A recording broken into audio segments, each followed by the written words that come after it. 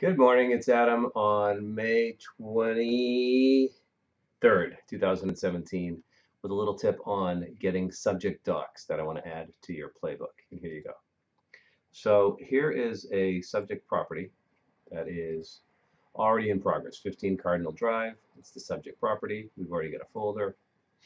in the folder for, what is it, uh, 15 Cardinal Drive is is got deed, field card, GIS map, the letter of engagement, MLS, and all these other items. There's a few things missing. So when you see this paperclip icon, it says this listing has a document, click on it. In this case, the document list opens up and sometimes it's nothing.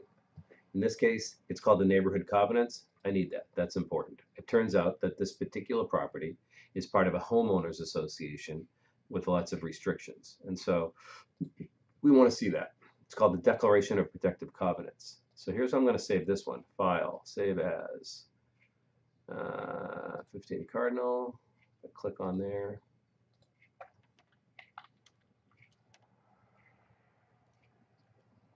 I'll just call it covenants. Anything. I mean, it's got the, it's tagged with the name of the subject, so that's cool. Um, so always go and see what those are, and when in doubt, put it in there and get your cue from the name.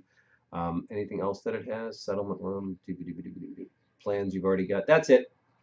So uh, please do that going forward. Thank you.